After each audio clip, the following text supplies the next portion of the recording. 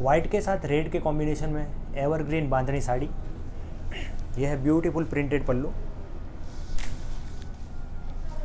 पूरी बॉडी पे बांधनी प्रिंट रहेगी। कॉन्ट्रास्ट बॉर्डर रहेगी दोनों साइड में।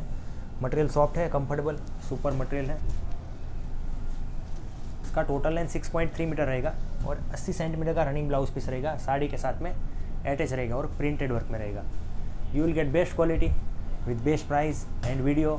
Only from hirfashion.com